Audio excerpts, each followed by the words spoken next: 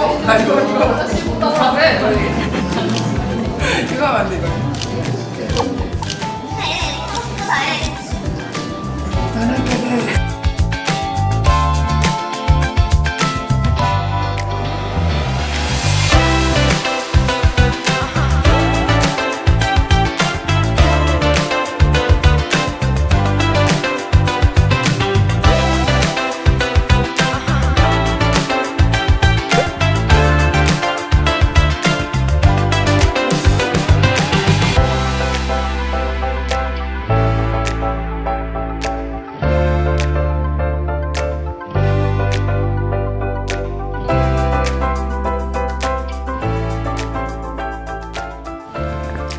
오늘은 힙하게 포스터 촬영을 했습니다.